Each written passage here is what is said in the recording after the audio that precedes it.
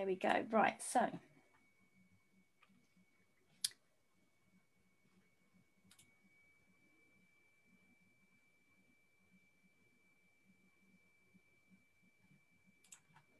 And then I turn us off on the video on the uh, Facebook because otherwise you hear past past us. Okay. So starting to fill up already. So we've got about 11 people. So I'll do a proper introduction in a minute when we've got a few people. So I'm not repeating. Cool. Yeah, no, that's fine. Okay. Simon's in, Kerry's in, Roberta's in. Um, some hang on. Oops, yeah. yeah. So then you'll hear us. Yeah, Yes. on them. Oh,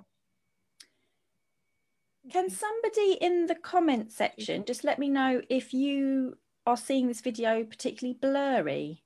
It looks quite blurry for me on my playback.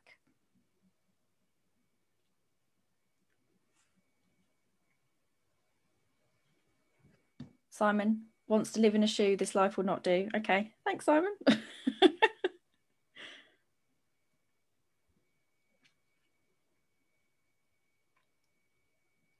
Ah, okay. I think it started to stream it better. It's not blurry now, so that's good. Okay, so uh, another Aucademy mem- Aucademy member is there. Oh, gallery view. Um, yeah, don't worry too much, Simon. I'm um, I'm going to stop sharing now anyway, so that you don't you can see both of us. We are in gallery view, so I should see that come up. Like I say, there's a little bit of a lag and that should happen now. There we go, fantastic. Okay, so we've got 14 people, um, and I typically explain we get around probably about 30 learners during the actual live itself, and then um, it will be viewed uh, considerably a bit more um, after that, um, which is lovely. So I'll do some brief introductions for the people that are here. Um, so for those of you, if anyone's new, I am Dr. Chloe Farahar of Aucademy.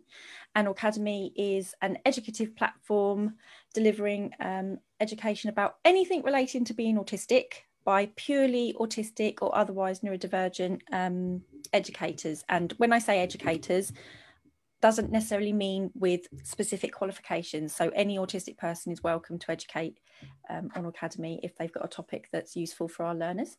And I am joined today by Dr. Mary Doherty. Now, am I saying that right? Yeah. Okay, because I kept asking Harry, I'm really poor sometimes with pronunciation. Um, so, hello, Mary. Thank you for joining us today.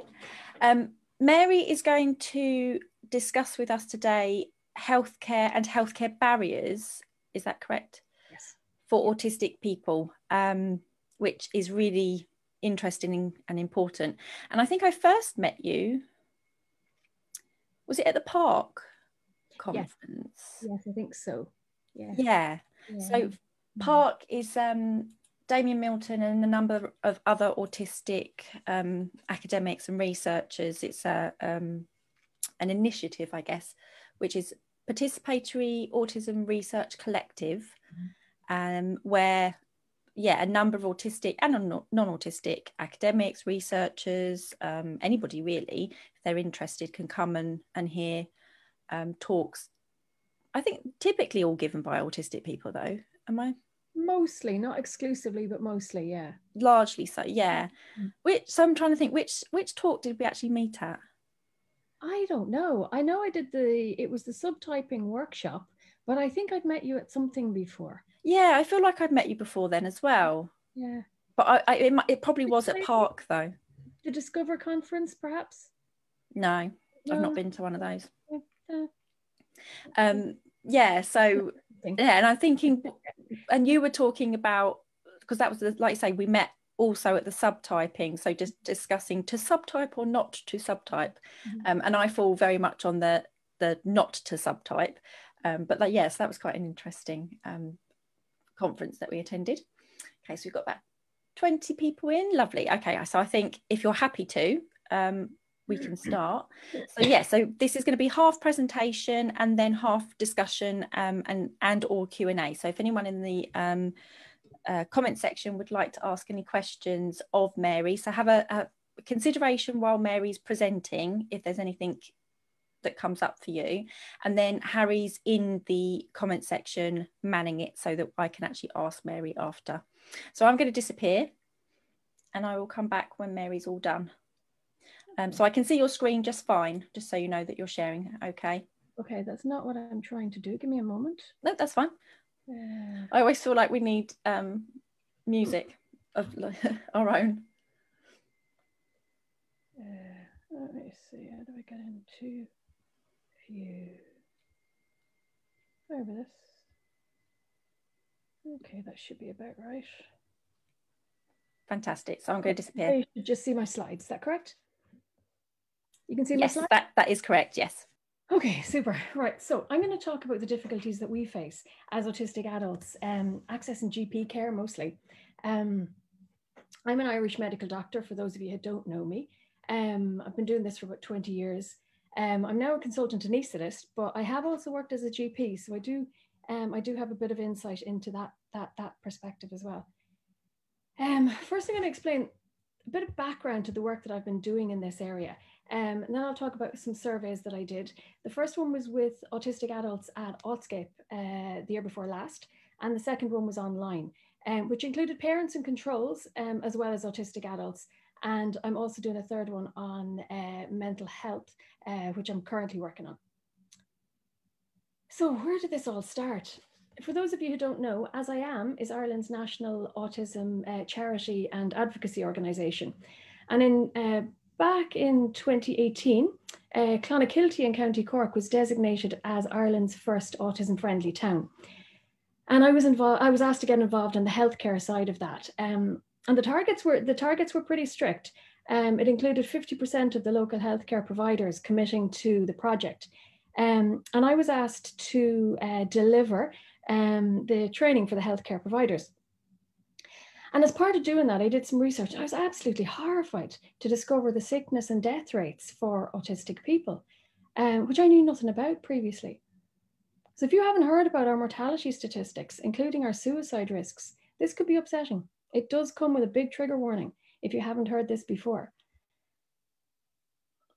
This was a large study in Sweden um, looking at early death in autistic people. It was a huge study. They looked at 27,000 autistic people. Um, and what they found was that autistic people died on average 16 years earlier. And that's people without um, a co occurring intellectual disability. The leading causes of death were heart disease, suicide, and epilepsy. Um, but the mortality rate was two and a half times the general population rate. And there's been similar data since from other studies from Scotland, the US, and Australia as well. And also, an recent paper shows that our in-hospital mortality rate is, is, is doubled. Just to go back to the um, average life expectancy there, 70 years for the general population, 54 in the autistic group. Um, those who also had cognitive disabilities had an average life expectancy of just under 40 years. That was absolutely shocking. Um, looking at the suicide, autistic women were 13 times more likely to take their lives compared to non autistic women, men six times, giving an overall rate of nine times higher than the general population. So I, when I was preparing for this training, I wanted it to include the views of our own community. Um, so back at in Autscape uh, 2018, um, I did a survey um, and a discussion workshop which asked, what do you wish your, your doctor, your GP knew about autism? These are the questions. We asked, what were the barriers faced? What do our GPs need to know? What works well? And what would make visits easier? I got 75 responses, which was fabulous. Um, the most common, commonly stated barrier was difficulty using the telephone. So people weren't even getting to appointments because um, of difficulties using the phone. I had no idea that that even at that stage I didn't realize that that was an autistic thing, even though I share it myself. Um, sensory difficulties as well, difficulty waiting in a noisy, crowded waiting area, um, and executive functioning issues, diff- just difficulty planning appointments in advance. So I just then did an informal Facebook poll just to see if this was a, a, significant issue. And I asked, just in a couple of Facebook groups, have you ever delayed, avoided, or failed to make a GP appointment when you needed to, specifically because of difficulties relating to using the phone? And in less than 24 hours, I had 18 people saying no and 159 people saying yes. And there was a lot of comments about how difficult using the phone was. So I just wanted to find out how significant an issue it was in the wider community. So um, I set up a, another survey um, looking at barriers to accessing healthcare in the autism community. And I wanted to compare the responses from autistic people with parents of autistic kids and also to include um, a control group. Um, so the online survey I was hosted on, on, on Google Forms and I it was um, went out through Facebook and Twitter mostly. Um, got a great response. We got 860 responses, uh, most of whom were autistic, um, and, mo- and three quarters of whom had a formal diagnosis. Um, most responses were from Ireland and the UK, um, but we had responses uh, from all over the world. And uh, top marks to anyone who spots the typo. Um, age data, this compares the age data in the autistic and the control groups. Um, the parent group data isn't shown because many of the parent respondents um, gave the age of their child instead of their own age, despite the fact that they were asked to, asked to respond regarding their own healthcare experiences. Um, but then when we looked at gender, um, this is interesting. The vast majority of responses across all three groups were women, um, as is common with online surveys. But look at the proportion of the autistic group identifying as non binary. That was 16.5%, um, which is in purple, and 1.8% uh, preferred not to say. 4.5 of the control group identified as non binary, and none of the parents. So we asked, do you have difficulty visiting your doctor when you need to? So not in general, but when a visit is actually required. And over three quarters of the autistic group, half of the parents and a third of the controls said yes, they had difficulty. Interestingly, the parent group had difficulty going to a GP because of problems with childcare. Um, and for the control group, it was mostly finding the time to go. This is looking at difficulties for all respondents according to how common they are for us. The most common issue, difficulty deciding if uh, symptoms warrant a visit, um, was similar across the groups. But difficulty using the telephone to book an appointment was the single greatest barrier uh, to visiting a doctor when a visit was needed. Um, and that was cited by 61.9% of the autistic respondents. You can just see the difference there. Um, looking more closely at that telephone issue, people were asked about their preferred means of communication and which means they avoided.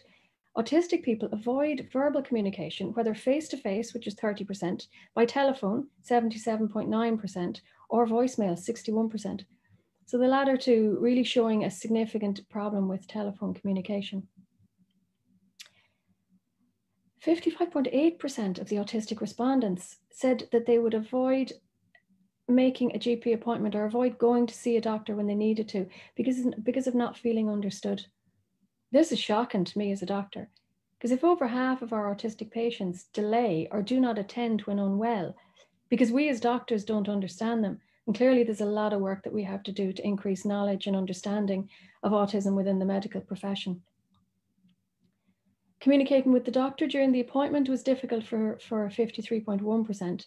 Difficulty with the reception staff, a significant factor also at 46.4%.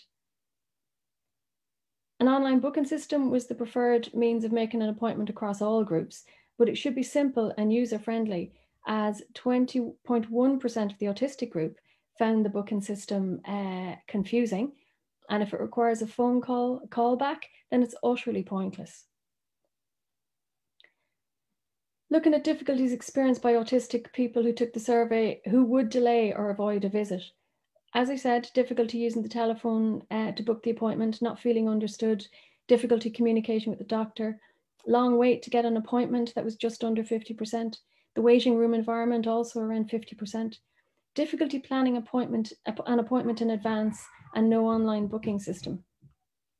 Um, also difficulty communicating with the reception staff, that was 46%, inability to see, a no, to see a known or preferred doctor, um, again, just under 50%. Not having enough time to visit the doctor for a third of us, needing a support person to come with us, it was 20%.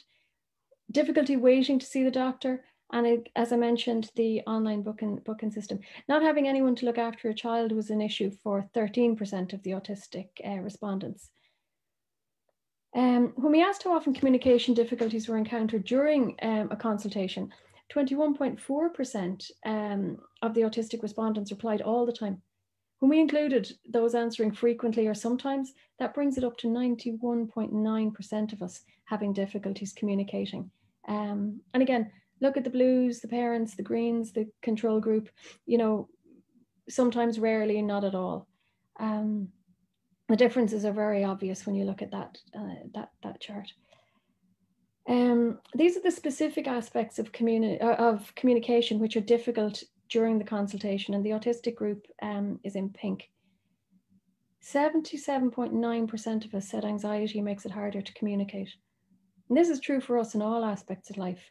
Um, specific measures to reduce our anxiety around healthcare would help enormously um, and significantly impact our healthcare. Concern of not being believed or not being taken seriously is a huge barrier.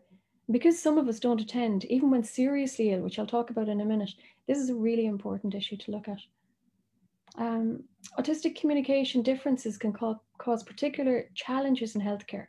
Expressing emotions differently, for example, appearing to be angry when afraid or in pain, or describing pain without the expected non-verbal signs of pain, can lead a doctor to underestimate the level of distress. Pain's a huge issue for us. Um, I'll skip that for now, though we might get a chance to come back to it. Um, one in six stated that they were scared of the receptionist. Um, and again, look at the differences between the groups for, for none of the above. Planning difficulties or executive functioning issues can often be a problem for us. Um, finding it difficult to prioritize um, medical problems, needing to give the whole story and not, not, not leave anything out. That's, that often comes across as over inclusiveness. And it's difficulty knowing what is serious, what's not, what to include, what to leave out, difficulty summarizing, um, and just a sense of needing to give the whole story. Um, and I think that's probably familiar to, to most of us, but it can be a real challenge, particularly in a short appointment. Um, and as a healthcare provider, I know it can be difficult to manage. Um, but being able to email in advance a list of what the concerns, what the appointment is for, um, would very effectively deal, deal with this issue.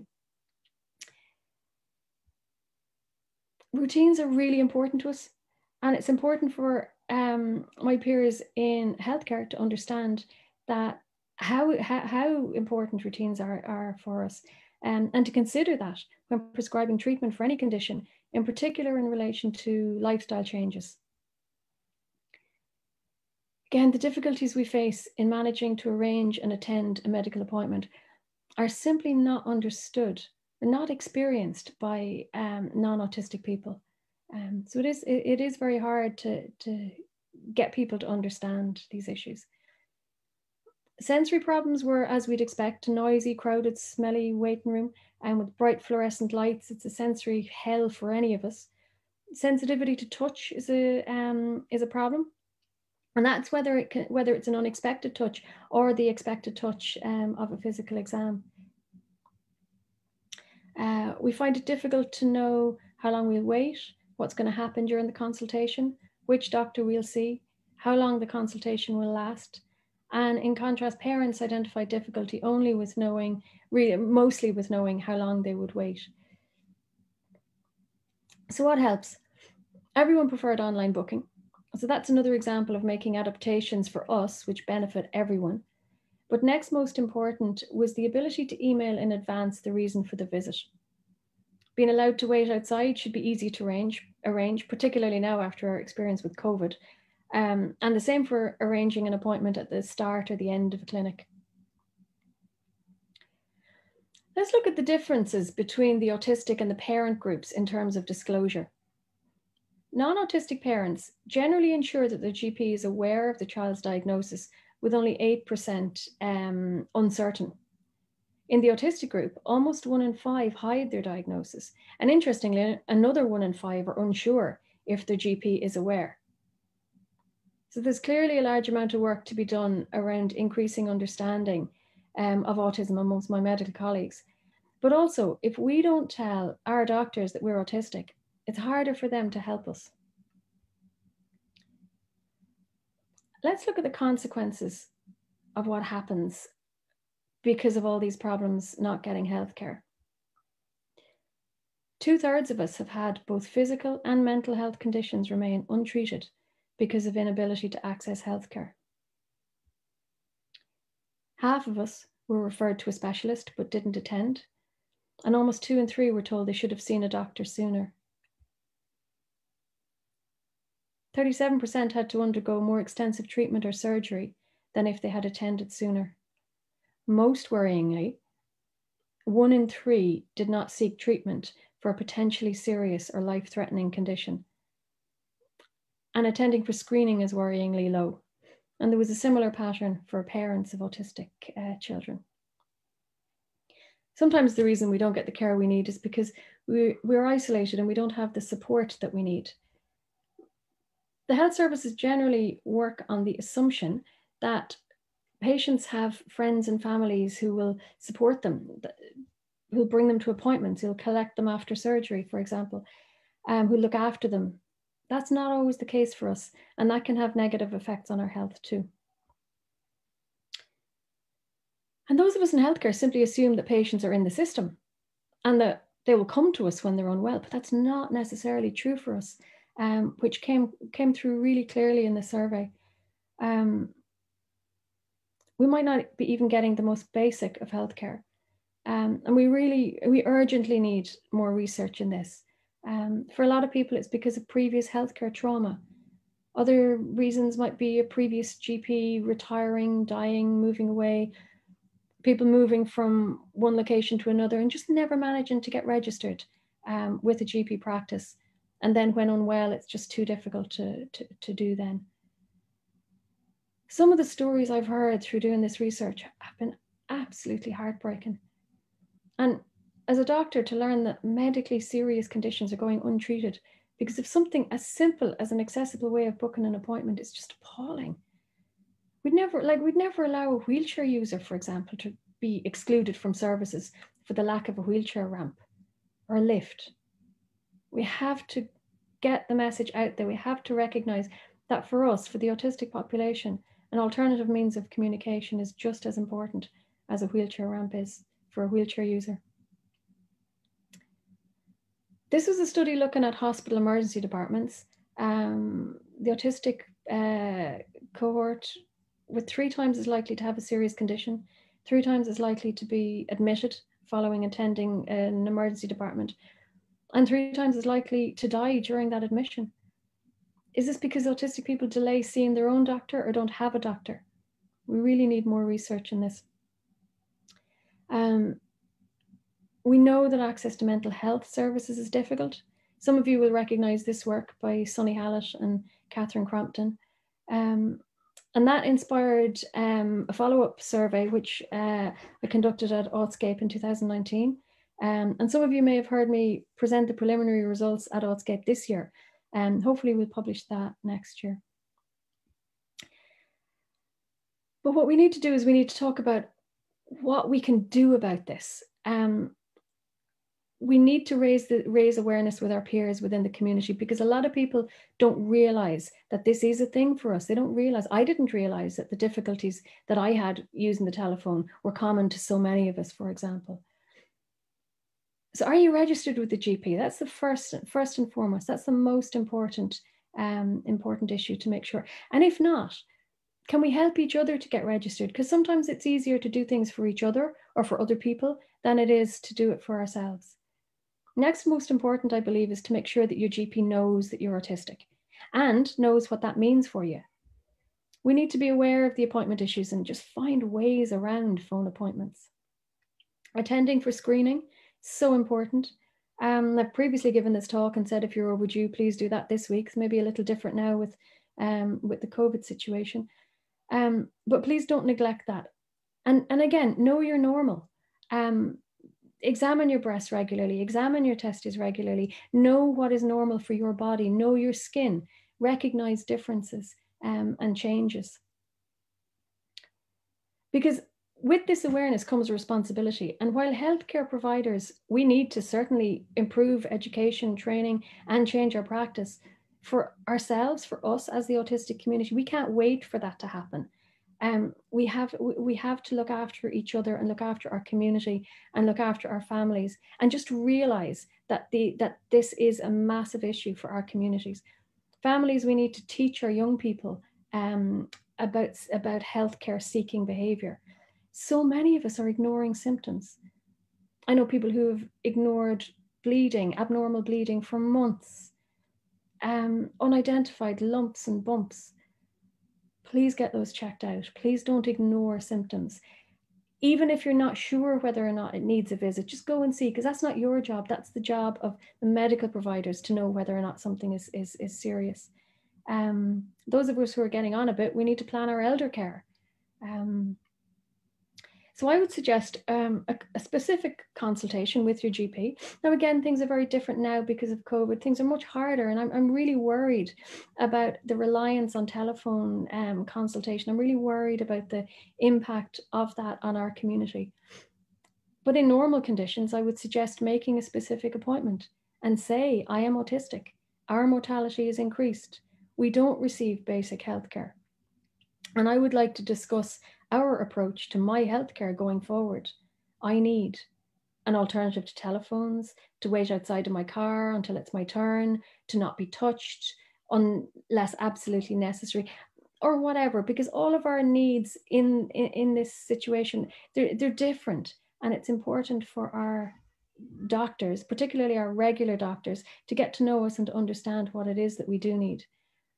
Um, when I talk to GPs about this, I suggest an alternative appointment system, accepting a concise problem list by email, because that will help everybody. Um, an option to wait outside. It, it, certainly before Corona, it was seen as quite difficult to do that. It was an imposition on the reception staff to call somebody when it was their turn. Coronavirus changed everything for us in, in, in healthcare. That's no longer ever going to be um, an excuse. Similarly, we should easily be able to organise the first or last appointments uh, written instructions um, that relates to follow up because a lot of us have difficulty with follow up. Um, we can forget what was said, we can forget the advice, um, filling prescriptions, that sort of thing is quite difficult. So having that in writing is really helpful. Another thing is to send referrals directly, not to give us a, a, a letter for another doctor in an envelope and expect us to post it. Um, it's so much easier if the referral can be made from the GP surgery directly. Um, again, it's not that big a deal. Um, and, and the other thing following on to that is to make a follow-up appointment um, on the day of attendance if, if, if necessary. Annual health checks um, are currently offered to those with an intellectual disability. There is work underway at the moment to extend that to the autistic community more generally um, I'm hopeful that that that that will improve our um, healthcare outcomes. Um, but ideally, I'd love to go in. I'd love to see us go into a GP and be asked, "Do you have a list for me?" Or even better, "I received your list. I think problem whatever is the priority. Do you agree?" Having that sort of a communication um, would really help in in uh, the consultation. What else can we do? Other things that I suggest to GPs don't insist on phone calls, use clear, direct language, encouraging positive routines, because we can use our need for routine to our to our benefit um, if, we, if, we, if we need to. Um, encouraging our special interests, prescribing solitude. I love this. I love, and I love the discussion that comes after that because we have, most of us, an absolute need for solitude, um, which a lot of non autistic people find very difficult to understand. Um, prescribe for sensory needs, very important. Fidget tools, they're not toys, fidget tools. Um, sunglasses, um, ear defenders, um, noise cancelling headphones, really, really important and very important if GPs are aware of this, also particularly the occupational therapists. Um, I've lost count of the number of professionals um, involved in our care who simply are unaware of the benefit, for example, of even noise cancelling headphones. Um, we need to change that. Um, most importantly, promoting a positive self image. Um, because GPs really need to understand the power, all healthcare providers, just the power of the words used, because we need to we need to change the landscape within medicine, within healthcare, so that a positive message around autism is transmitted. And we, we people just resist that tragedy narrative um, because it's so it's so important. Um, yeah, here's another example of things that that, that we we really say all the time and i'm guilty too um you know hop over to the table do you want to take your shirt off no do you want to take a seat I don't know if that's a good idea. That's something that we say quite a lot when we mean don't do that. That's that's a bad idea. But using confusing language without clarifying um, can be really problematic in a healthcare uh, consultation. Um, as I mentioned, I'm an anaesthetist. When I when I've got caught out with this, I'm going to put you to sleep. And that was quite unfortunate. Um, with a child who had recently lost a beloved pet. Um, yeah, I don't use that now. Um, for those of us who are parents, carers, or teachers, we need to really build capacity to access health early, to teach the importance of um, healthcare, and to build relationships with healthcare providers. Appointment making, teach the value of screening, and supporting people to attend appointments. Um, and as I said, having introductory appointments, all hugely valuable. So, in summary, 78% of autistic respondents avoid using the telephone, and it's our most common barrier to healthcare access. Over half of us avoid or delay a GP visit because of not feeling understood. The consequences of access barriers to healthcare include untreated physical conditions, untreated mental health conditions, late presentations, emergency admissions, more extensive treatment or surgery. And many of us have no access at all to primary healthcare. And based on this research, I believe these are the most important factors which underlie the excess morbidity and mortality in the adult autistic community and are the most important to, uh, to address. That's you know me from Twitter, um, you'll often see tweets like this, because overall, my research so far has led me to this viewpoint. Optimal, optimal outcome is a content and healthy autistic adult um, my main concerns are our healthcare and our mortality statistics, um, and in particular our mental health. And that starts with reframing the tragedy narrative around autism and promoting a positive self image and a neurodiversity perspective within medicine. Um, so, thanks for listening. Happy to take any questions, although I can't give specific or individual medical advice here. Uh, but anything general, I'm happy to chat about. Thanks.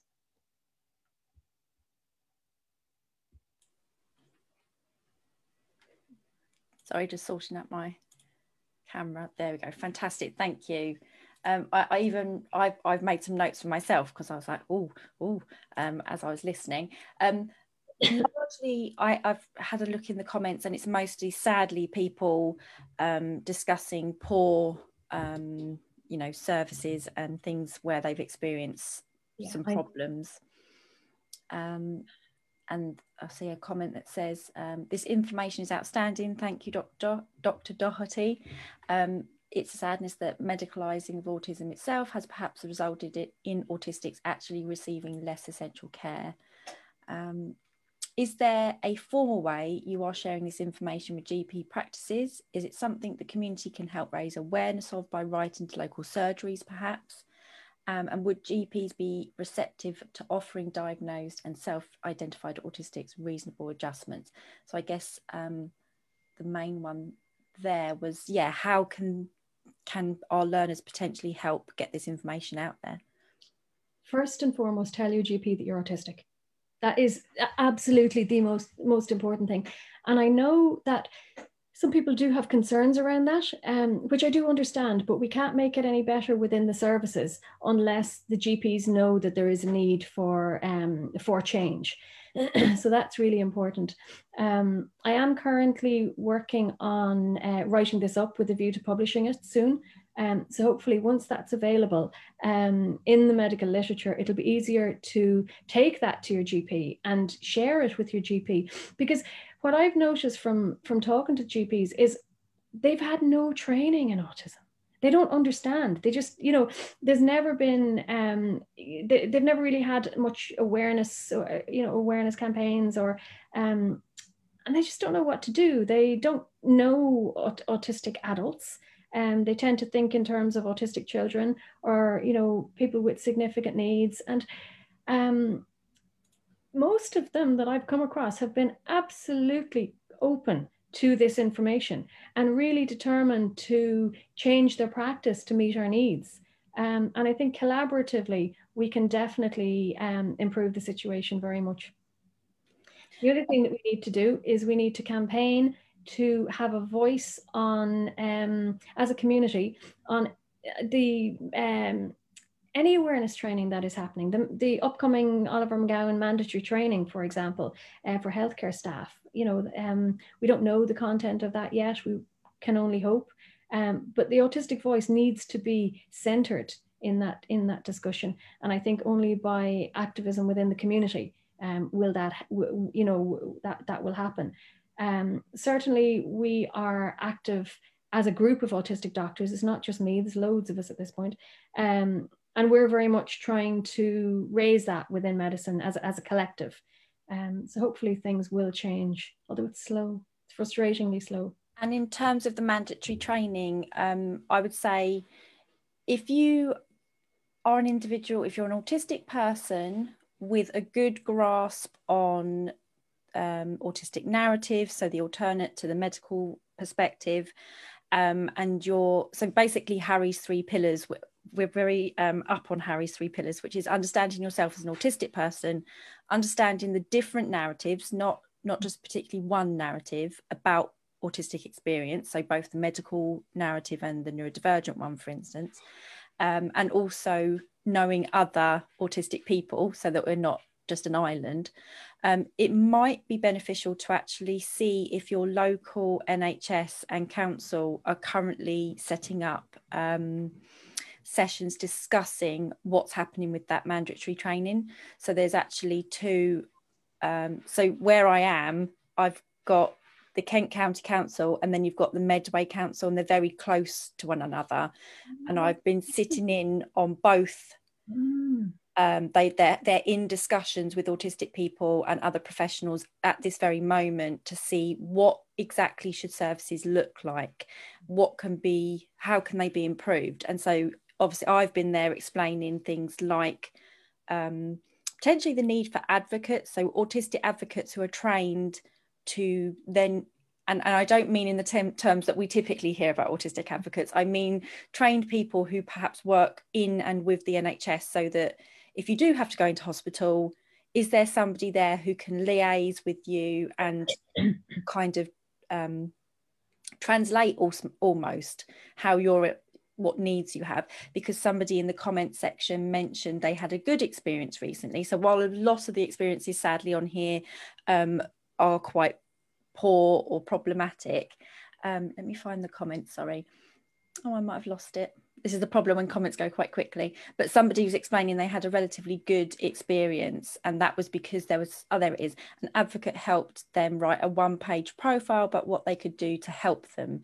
Um, and so i know there's discussion on the um, uh, medical passports, mm-hmm.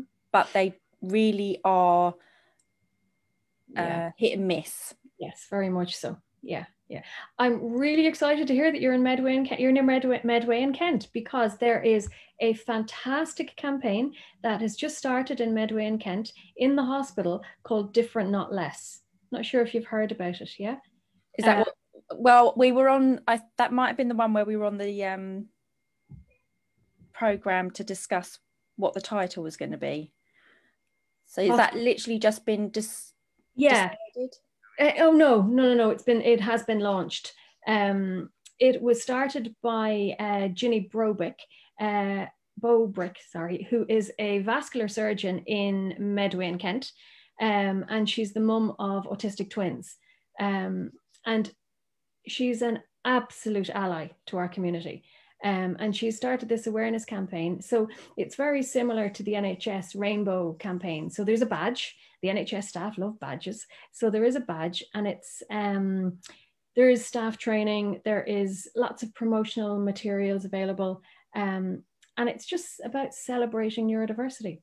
Um, it's just fabulous. It's and, I think it will be incredibly um, powerful within within that trust. And the hope is that that would be rolled out um, to other trusts as well.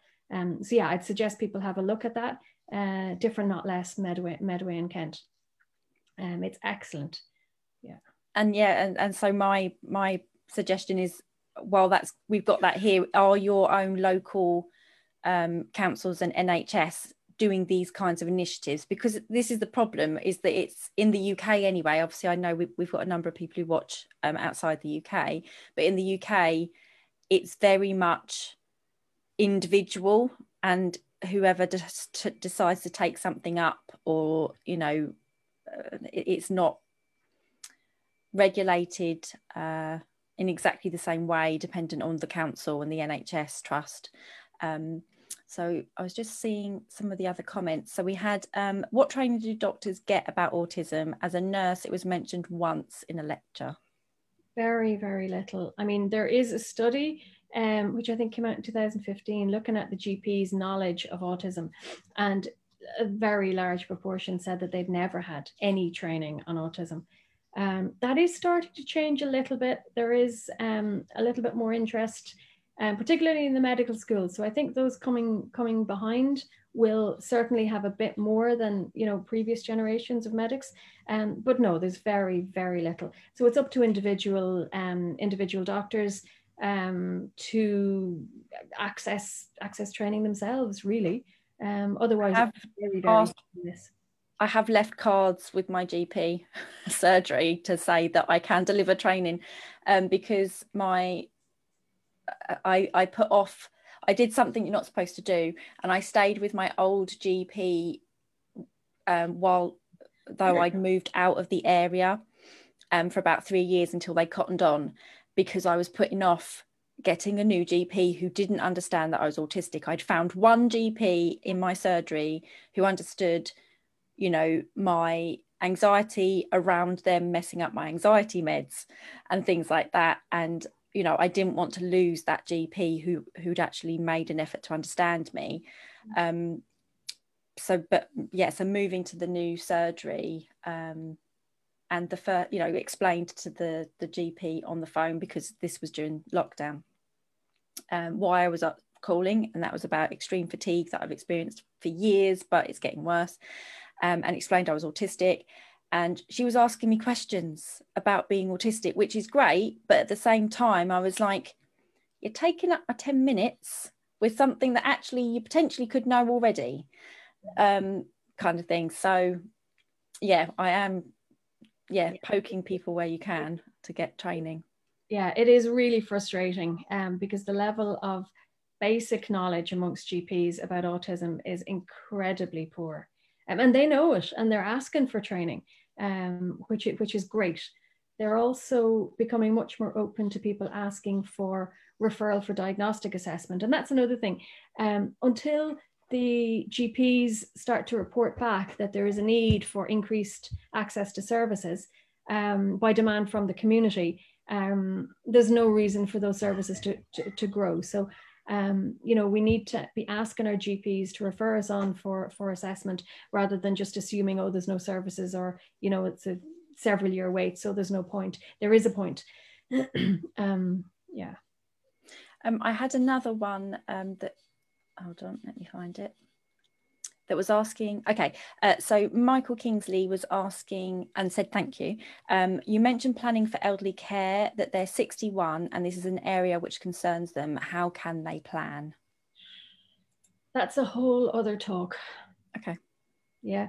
Um, but it is very, very, it, it is very difficult. It's very concerning. What I would say that is very positive is in the few years that I've been around the autistic community, I'm noticing a huge amount of interest in that area now. So there's a lot of research happening when like five years ago there was nothing, you know, absolutely nothing. Nobody had even considered the issue. So at least it's it is being looked at now. And hopefully by the time we need we need to access that care, um, there might be some autism friendly um, settings that we could potentially consider. And when you say that's a whole other talk, do you actually have a whole other talk? Because what no. we okay, just checking. Because what we tend to do as well is um, basically a lot of our sessions are led by what learners want to learn. So um, we could certainly look at it at some point. Yeah. Yeah. Okay. No, that's that's absolutely fine. Um, where are we? We've got somebody Malaya or Malaya or Malia. I'm sorry if I'm saying the name incorrectly. They're talking about Tylenol, so I'm assuming that's America. Is that likely to be America? So they're just describing the issue with so-called adult medication because it's sens- sensory wise, it's revolting. It's very difficult to take. Tablets are difficult to take. I still struggle to take tablets, yeah. um, and I have to take a tablet every day. Um, so yeah, I mean, they said what I don't think you can necessarily answer this per se, but why do all adult medications have to be horrible and cause so much anxiety to try and take? Yeah, yeah, yeah, I know. Yeah. Um, for that particular reason, I taught my son specifically how to swallow tablets. Um, and I started with little bits of fruit because uh, he liked fruit. And I started to get him to um, take a small little tablet sized piece of fruit and swallow it without chewing it and then went to something like a piece of sweet or whatever. And the, the trick was to get him to swallow it without chewing it. Um, but because it was something he liked to eat, it was no big deal if he didn't manage it. And now he's no problem to because he wouldn't take liquid medication. Um, he just couldn't manage that from a sensory point of view. So I needed to get him taken tablets sooner than I might have otherwise. Um, and that worked quite well but yeah, I mean, Tylenol's paracetamol, it is disgusting. But there's the capsules. I mean, I, I would take capsules myself rather than um, tablets because tablets taste so horrible. But then capsules are very plasticky as well. So it really depends, doesn't it? Because there's certain brands of things where it's like a caplet, so it's not so powdery. Because my mm. issue is it takes me so long, they end up dissolving on your tongue anyway, and then it's disgusting. Um, or I choke because sadly I have issues with my uvula. I'm very aware of it. So I end up gagging on whatever the, the thing is. Um, but that's actually quite a useful, if nobody knew that already, that's quite a nice little tip, which mm. is potentially could you try with something that's um, like a soft piece of fruit if you're okay with fruit of some description. So that's a nice little tip actually. Um, got Leanne Lewis asking, please can hospital consultants also be targeted for training, especially in A&E? Being told that you don't look autistic when in A&E with COVID-19 just adds to the anxiety. Yeah, no, absolutely. It is, um, it's really, really difficult. The emergency department environment is a nightmare for anybody, but for an autistic person, it is just so much worse a couple of places are trying to do things differently and i've i've recently heard some good stories which is nice you know adults going in um because a lot of the kids hospitals have started doing programs but it's nice to hear about adults going in and being able to say to the triage nurse for example that they're autistic and you know they're brought into somewhere quieter. And it's just simply you know people staff understanding that noise and busy places busy waiting rooms are, are a real difficulty for us. Um it's it's so slow it really is slow. But one of the things that I'm finding is the most effective way, actually, of getting through to my colleagues around all this is to talk to them about my other area of advocacy, which is with uh, autistic doctors. So I founded a peer support group for autistic doctors, or Autistic uh, Autistic Doctors International. Um, we're mostly on Facebook, you know, WhatsApp groups and um, zooming a lot over over lockdown. But it's a group that's grown quite rapidly. And it's an issue that has grabbed the attention of universities hospitals medical schools in various countries. Um, and i'm actually quite blown away by the level of interest that we have at the moment.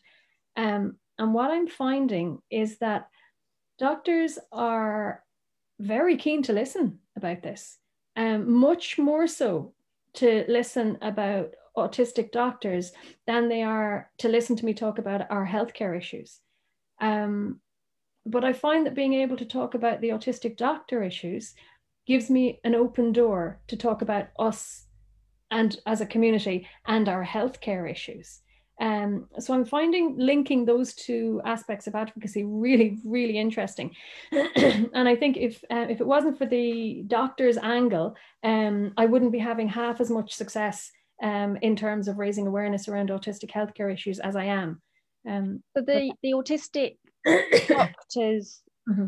sort of advocacy. What what what exactly is that about? So is that about raising awareness awareness of the struggles well, we started off we started off as a peer support network, basically. Um, I founded this about a year and a half ago. It was kind of I had taken a career break um, after my son was diagnosed, so I've been off for a few years. So I was looking at going back into clinical practice. Um, I'd never knowingly worked as an uh, as an autistic doctor because I was diagnosed while I was while I was on career break. So it was quite a daunting pro, um, prospect, really, going back after after so long, um, and knowing I was autistic. Because I mean, like at the time I got my diagnosis, I didn't even know could you be autistic and be a doctor. You know, um, of course you can, but I didn't know that then. Um, so I was really struggling to connect with um, other autistic doctors. Like I knew I couldn't be the only one. Um, but it was the sort of thing that even if people, you know, kind of suspected that somebody might be autistic, it was this certainly wasn't talked about. Um, so then I linked up with um, and one colleague, and then found someone else, and then someone else, and, and then there was about six of us. So I started the group, and then we really very quickly grew to about 20 um, and then we just grew to 30 and 50 and 100 and now we're over 200, there's over 200 of us um, in the group. Um, internationally, uh, most are in the UK, but we have people from everywhere all over the world.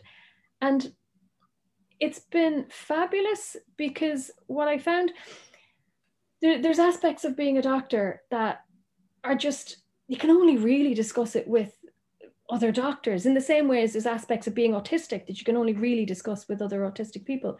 Um, and I just found that I needed I needed both, and to find other autistic doctors was was just great.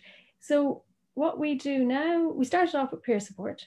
We've kind of moved into a bit of advocacy. We've done some work around um, supporting some of our members, say through exams, through career transitions.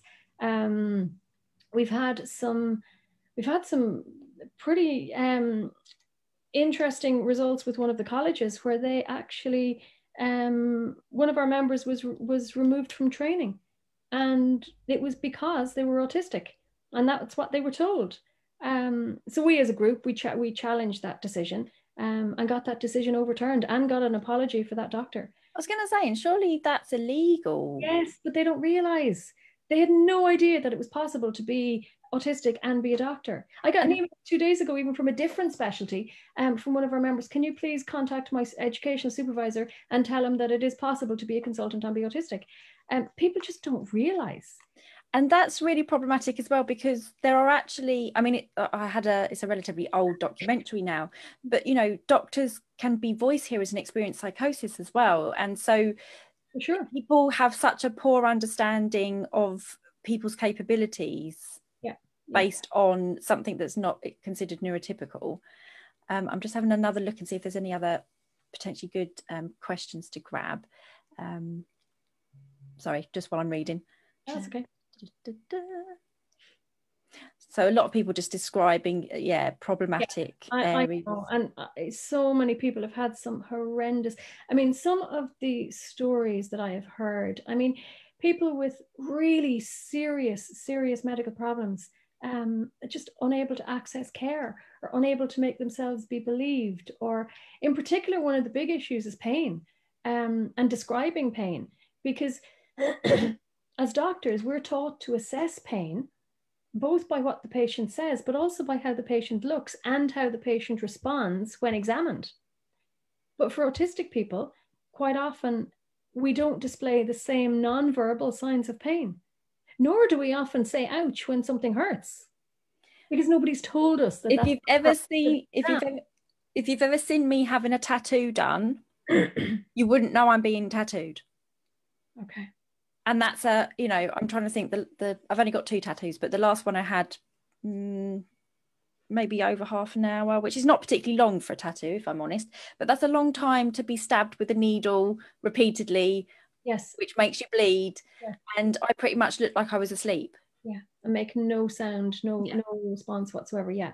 And the problem is if you get that in an emergency department, um, that is really problematic. And it's really problematic for my medical colleagues because a lot of people who would not present who would whose nonverbal presentation would be incongruous with what they're saying, um, that's a real red flag in terms of management management of that situation.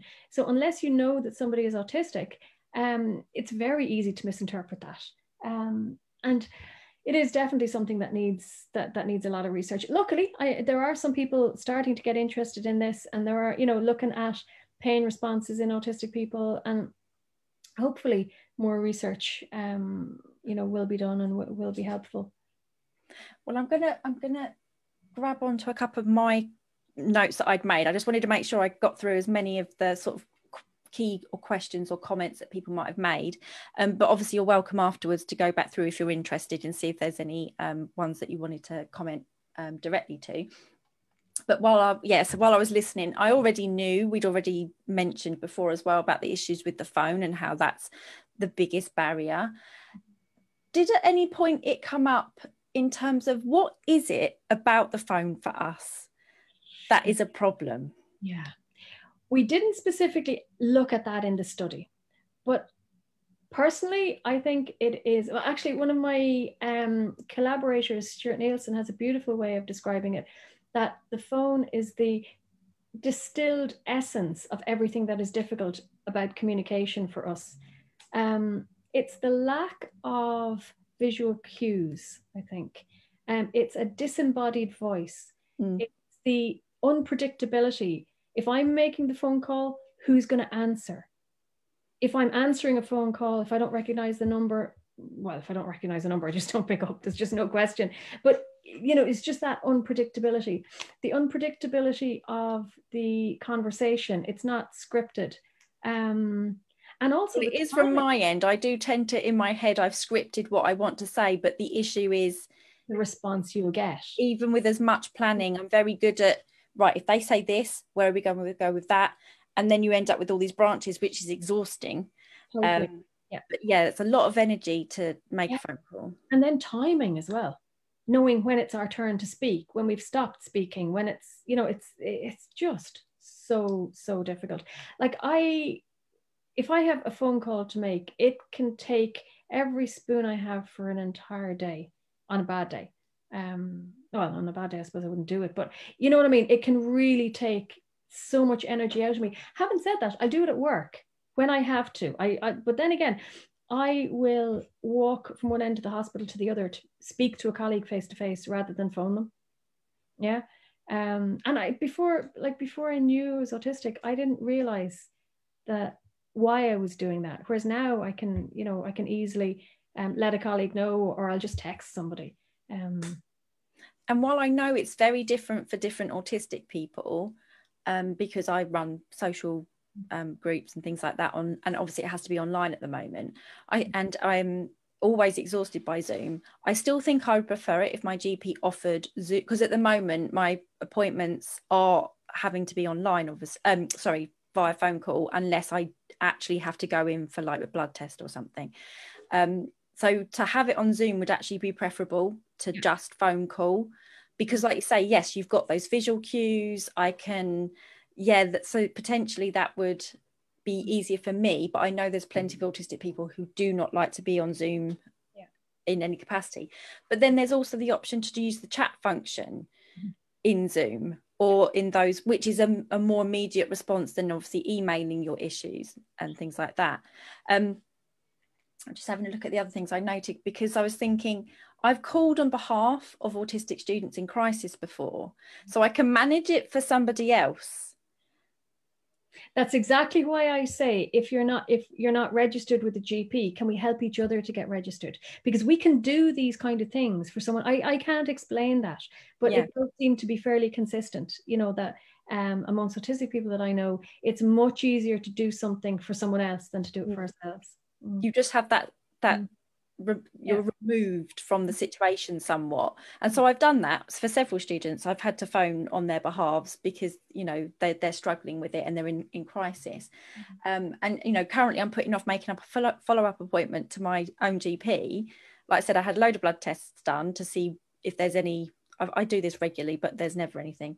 Um, why I'm so fatigued all the time, and I really do need to make a follow up appointment and say, right, can we look into this more? Because this is, you know, I'm 36 now and I've been exhausted all my life. I need, there needs to be something else other than me just being autistic. I don't think it's enough anymore to just think I'm just anxious all the time, for instance. But I'm putting it off because it'll be on the phone. They yeah. don't have, yeah. you know, online appointments. Yeah. And that's why we asked, do you avoid or delay? Because it's that issue of putting it off, putting it off, putting it off. I mean, personally, I had an appointment that I had to cancel um, because of something unexpected. And I delayed and delayed and delayed rearranging that appointment for a whole year until I went to my GP for something else. And she said, well, what happened about such and such a thing? It's like, oh, mm, never kind of got around to getting getting there you know and luckily she made the appointment for me and they sent me out an appointment in the post and i turned up and you know I, I got whatever it was dealt with but it's just it's just that delay delay delay and the consequences of that is that autistic people tend to turn up with much more serious illness, tend to turn up with maybe much more advanced disease than maybe might have been the case if we'd gone when the symptoms started, you know, or at the beginning. Um, and that's what really concerns me about all of this. And I think that is a huge driver of our mortality and morbidity figures. It's why our mortality rates are so bad, or at least it's one of the reasons. Sure, there may be specific conditions that are more prevalent, um, more common amongst autistic people, for sure. Um, but a large. I think given, given technology now, there's no real reason for it to be this way. Um, no. You know, I um, I would much rather. So you know, when you've I don't know got to return something to Amazon or you've got to talk to the bank or something. I like the chat, the the um, what would you call it? Like there's chat support, text support stuff. Mm-hmm. You know, I can I can think clearly. I can type my answers. I can process the answers and process because there's a little bit of a lag from them replying. So it's all mm-hmm. those kinds of processing things which I'm also thinking because I made a note um, because I do a talk on autistic well-being, so more specifically about the issues we have, the barriers we have to mental health care mm. and services, um, and largely it's again because nobody is trained to understand how to deal with an autistic person with mental health issues. They will conflate the two. They will say, "Well, I can't help you because you're it's an autistic thing." No, it's not. I'm autistic with a mental health concern or and they conflate the 2 mm-hmm. um, and I talk about how there's many barriers to mental health due to the challenging behaviour of therapists. So obviously, yes, if we are on the alexithymic scale to some extent, so for those who aren't aware, alexithymia is a difficulty, inability, or inability, sorry, to understand or process or articulate emotion. Um, and so obviously, if you're like you say, if you're being asked are you know are you in pain? And what's that level of that pain? and things like that in this healthcare um, setting um, that's going to be a struggle.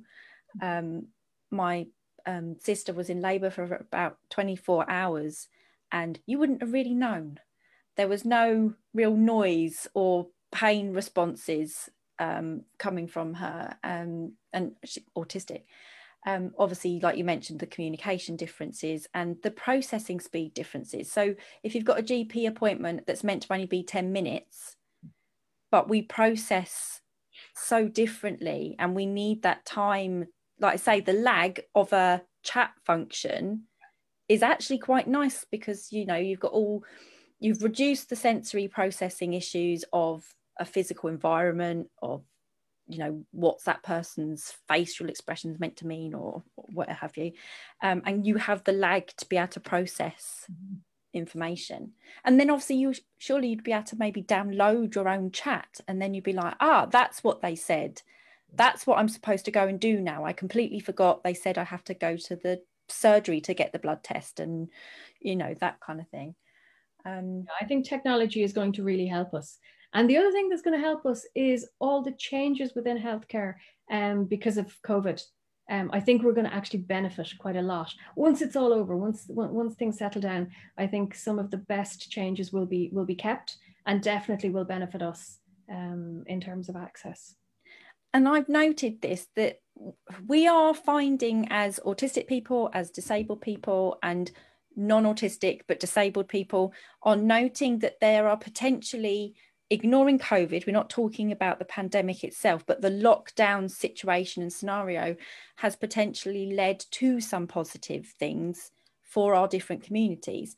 And I think non autistic and non disabled groups are finding it difficult to see that there are potential positives from the lockdown scenario. I don't want to talk about the pandemic because that's obviously a horrible thing for people, but the circumstances yeah, and mm-hmm. situations and things are, are, potentially quite beneficial. Mm-hmm. Um, what's my other note that I've made? I've put it's interesting and key to see the barrier that we have in terms of articulating ourselves. Um, for instance, I tend to also need to explain everything because you're not sure what's not needed and you don't want to lie or miss things out or lie by omission. So, which bits of my story are the key bits that this doctor needs to know? Because in my head, you need to know everything. Yeah, yeah absolutely. That is a real. It, it's a real life example of the double empathy problem. It really is a perfect example of how we struggle to understand autistic patients as, as doctors we struggle and autistic patients don't have the perspective that a doctor would have. But then no patient has the perspective that a doctor has and that's not a patient's job. It's up to us as doctors to know what's important.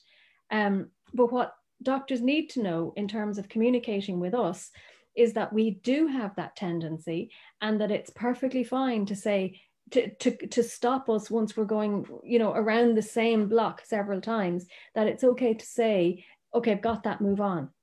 Because sometimes it's really hard to get, you know, I can get stuck in that loop and I'm I'm just trying to explain and over explain. And it can be very i can see it from both sides and it's really really difficult to manage um, from both sides of that consulting desk and that's interesting because i actually um, created or compiled um, autistic student accommodation sort of mm, not accommodation per se, but there are, but it's basically a guide for supervisors at university or anybody at a university trying to um, work with or support um, in a teaching environment an autistic student.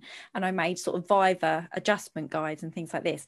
And um, part of it was yes, let the student know when they've answered the question, you know, because we will just keep going because we think we haven't given you the information. You would have told us by now if we'd given you the information you need. Yeah. Um, yeah. yeah. Yeah. Yeah. No, that's so it's so important. Yeah. But but again, again, I mean, and, and like we are grateful to be told that. But to non-autistic people, that's incredibly rude um, and they need to understand that no, that's not rude for us. You know, they do need to be blunt and they do need to be straight with us. And you know, once we once, again, once we both understand each other in that consultation, um, then effective communication can happen. And that's why I think, I mean, not necessarily in a GP setting per se, but like say, this idea potentially of advocates, mm-hmm. autistic advocates in the NHS. Yeah um, so when you go in they can do that translation bit because they've learnt from the nhs they've learnt from the doctors etc what the questions actually mean. Yeah. and they can then say to the autistic patient okay this is what they're asking for. You've answered it now you know that kind of thing. Um absolutely yeah and someone just said so interesting about this how we have to tell the whole story i have no idea that was an autistic thing have this issue in mental health appointments too i either have to tell the story or when I go to the GP, I say none of it and only answer the question that is asked.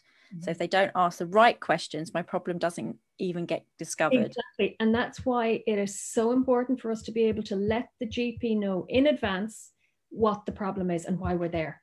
Because in the in the stress of a of a consultation, again, if the if the correct question isn't asked or if we get off on a tangent or you get an open question like how are you? or you know how did you get here? What brought you here? which is such a stupid question that doctors are actually taught to ask. We've been taught to ask open questions um, but they're so open that they're really unhelpful for us. So if doctors know in advance why we're there, then we're not going to have the situation where people come out of a consultation um, never having mentioned the problem that brought them there in the first place.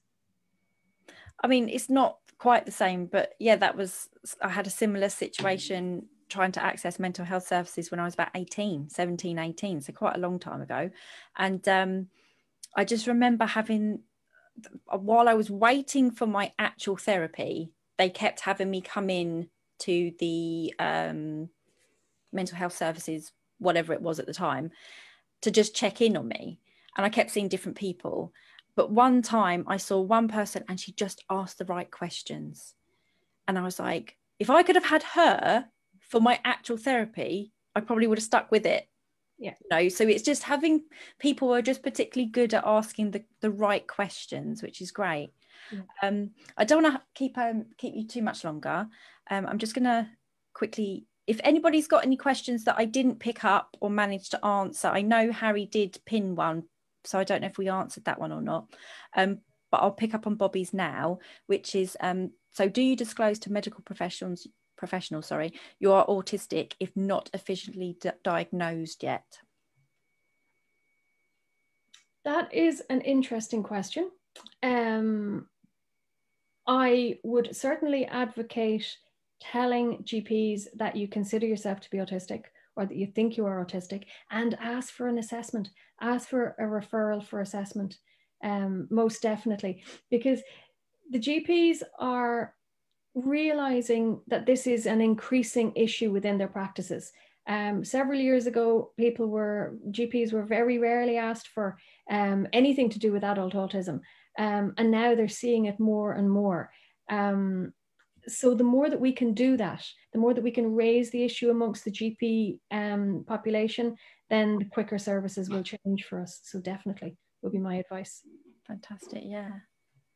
Um, and Bobby's saying that they have one. It's eighteen months away as a waiting list. I think certainly if you're on a waiting list, it's oh, it's worth mentioning. Or if you're finding it difficult, I mean, personally and on Aucademy, we're very much because we don't look at autistic experience through the pathology lens. If you're autistic, you're autistic. So if, we don't even necessarily class it as self-diagnosis because it's just self-discovery. You are autistic, kind of thing.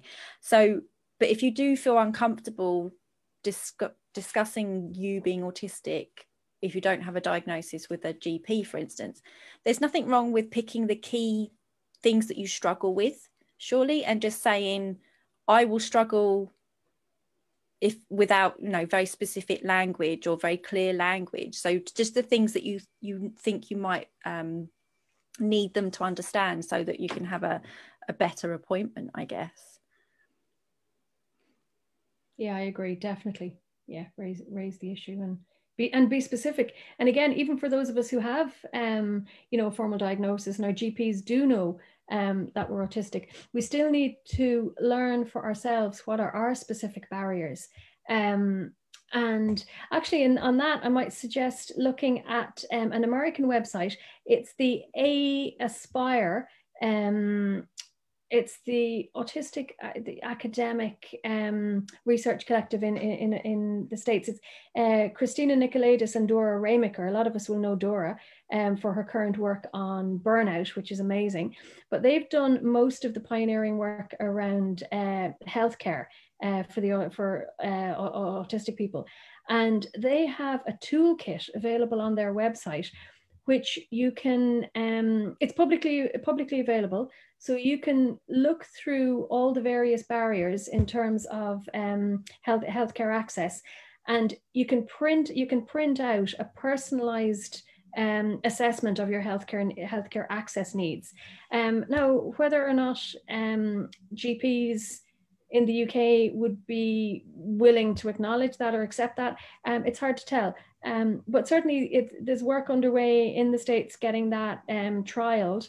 Um, with several healthcare systems over there. And I think I think there's a team in Newcastle here looking at a lot of the healthcare healthcare adaptations. And I think they're looking at adapting um, a version of that toolkit uh, for use in the NHS. So certainly things are happening. There's a lot of exciting research happening. I think the next few years are going to see a big, big change in terms of medicine and healthcare and access for us.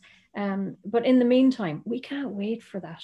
We have to take responsibility for our own healthcare needs um, and educate our GPs. And I'm sorry that we have to be the ones to do that right now, but but we do, we do because we we can't wait. Can I ask if anybody's in the comment section? Can you can you link the Aspire uh, website that Mary's talking about? So I've seen a couple of people saying they know what what she's talking about. So if you wouldn't mind popping that in the comments, that would be great. Because I'm thinking of it's almost like we need like a buddy system as well to some extent if we want to do it for ourselves until it's it's um, done for us appropriately in the services. Because um, one of our learners um, and friend was struggling not necessarily um, i don't think he wanted support per se right now with the gp um, but for helping with accessing the telephone appointments or trying to get through to like pip assessors. So for those who aren't in the uk pip is um, um, well we won't explain in in real terms what we think of it but um, it's a, a way of trying to assess an individual's either disability needs or healthcare needs and things like that and then whether they're entitled to any um, monetary support um, and things like that. But yeah wanting basically a buddy to help with the things that that he really struggles with so i don't know if anything like that exists or whether we can come together and try and do that for one another oh harry's I think we can do that ourselves. I think, you know, certainly um, maybe not in a formalized way, but certainly um, in local in, in local ways. I mean, I've had, you know, I've supported various autistic friends with various medical medical issues, um, and uh, not not necessarily as a doctor, but just as an autistic friend who kind of understands the medical system to some degree. And crucially, I'm not tangled. My my brain's not fried with anxiety at the time because I'm not emotionally invested in that particular situation and i think that's the really the really difficult thing for us um and i think you know four out of five of us finding it finding anxiety makes it harder to communicate and there's nothing more more stressful than being sick and having to deal with doctors so it's no wonder that none of us are you know functioning normally or as we normal normally do um, in a healthcare environment. And again, that's one of the points that's really important for me to get across to my medical colleagues, um, just how difficult accessing health healthcare is for us. Um, and that and that is that is the case. I'm I'm actually I consider myself quite good in a crisis, and I've been sadly I've been in hospitals many a time, not for myself, um, for taking my mum in, um, when my mum's need, needed psychiatric care, um, and I, I do go into logical mode and I kind of try and well, I don't think I do it. Um, I think it happens automatically. I kind of go into a detached mode where it's like, no, this is needed to be. I need to be the logical person now to deal with the things that are all problematic and deal with the system, deal with the processing, um, because somebody has to. Mm-hmm. Um, and and a similar that I mean my grand my gramps who brought me up um, when he got um, sadly got terminal cancer he um, he wanted me to go to all the appointments because he knew I would listen I I me being me I made notes um, and things like that although at some points that was difficult obviously because there was still an emotional attachment but I was there and that was my head yeah. set was I'm here to gather the information, make sense of it, and figure out his next steps and things like that. So we can be, I think we can be really good. That can be a strength of many of us, as long as it's not a personal situation. Yeah. Yeah, yeah. no, I agree. Yeah, absolutely. Yeah. Yeah. Somebody just made the comment that the comment that we pinned wasn't the correct one. So I think the correct comment which I will pin now, is the one by Susie Davey um, for the Aspire Health Kit healthcare toolkit for autistic adults. So thank you for that, um, Susie. Um, okay, fantastic. So um, did you have any final comments? I said I don't want to take up too much more of your time. Yeah, oh no, it's fine. I can talk about this for hours. Um, but one really, one really positive thing that's happening is that um, the network of autistic doctors is growing. We have um, an allied group for autistic medical students, Um, there's about 50 of them at this point. Um, and that's growing too. And that will grow as we do as we do more more in terms of awareness. And with that, what happens is awareness within medical settings grows. I'm hoping that within a couple of years, we're going to have a network of autism aware GP surgeries throughout throughout the country, throughout the UK, throughout Ireland, um, where it's perfectly well understood what our needs are.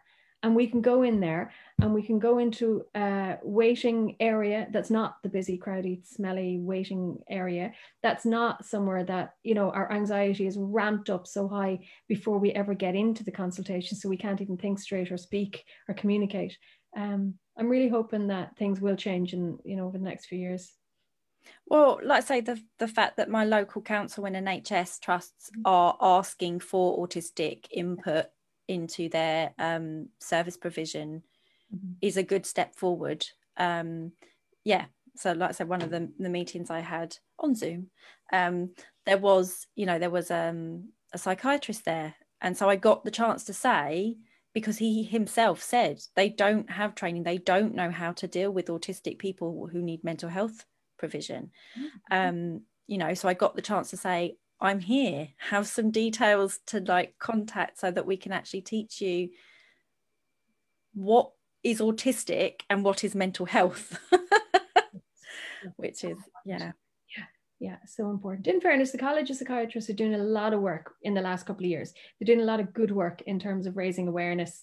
Um, you know, they're what they're really trying to do is upskill their their existing cohort of, of psychiatrists um, in terms of autism, and those coming through are get are starting to get training.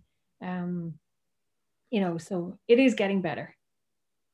Yeah, Slowly. to hope it's from autistic people. Yeah, yeah, that's the main thing. Is hoping that. Yeah, no, it is actually, and the thing is, there's a lot of people in healthcare who are autistic, but who don't necessarily disclose um, just because the, the culture has been so stigmatizing that you know a lot of people a, a lot of people really don't disclose at all. Um, but hopefully we can change that culture so that it is easier to come out and you know come out as autistic and you know be able to say i'm a doctor i'm autistic and, and it not be a source of you know it's not newsworthy. It shouldn't be newsworthy. It is currently but it shouldn't be. Um so it should be informative hmm. not newsworthy exactly. Yeah yeah. And then also actually well what does that mean for that particular autistic person? Because i think that's the difficulty at the moment is it's very they that there are the stereotypes. There is the the misunderstanding of what that could potentially mean. Yeah for sure. And that's why i always advise somebody to say i am autistic and that means not just i am autistic because people don't have a clue what that means. So we need to be clear about what it means for us individually. Yeah yeah because that potentially it could be and i'm hypo reactive or i'm hyper reactive to certain sensory information um, whereas otherwise they just assume that we're sensory sensitive to everything um, in in a, um, a, hyper reactive way and it's not necessarily that at all. Um, okay i think i'm just double checking there's no key questions before we disappear somebody saying thank you for refocusing them because they were guilty of expecting their son to tolerate the waiting room. Um, now they'll uh, now when he says he can't go in i'll go tell them and we'll be in the car. Yeah. Yeah. And the thing is all the all the all the reception staff all the medics everybody's used to that now because that's what we're doing with all our patients to keep everybody safe. Um so whereas before people weren't you know that would have seemed to you know huge change in practice. Um, now it's what we're doing. So we can continue to use that. Yeah, and I prefer it. Go in, distance in. Mm-hmm. I think yeah, lots of things are quite good for us. Yeah, uh, out of this. Um, so people, yeah, yeah. So um, thank you so much for coming on. Um, enjoyed that. Yep, and feel free to just stay on the Zoom. I'm just going to close the live. So thank you everybody for coming over to learn. Um, as always, um, if you are able to just donate a pound, that would be great so that we can pay our speakers for their um, time and knowledge. Um, but thank you so much, everybody, and we will see you next Saturday when we will be doing uh, Ehlers-Danlos syndrome. Mm. And actually, doing that because it was a pre-record because we thought that Jane was going to be having her operation, but it's been cancelled again. Um, so we did a pre-record for next week's session. Um, it's interesting, and people who come in next week will see. I get to the end, and I'm like, I have all of those experiences, but the GP doesn't know because they're all disconnected and you talk about them in different pl- times and different places. So, yeah, so that'd be an interesting one. But yes, thank you, everybody. See you next week. I'm stopping the live.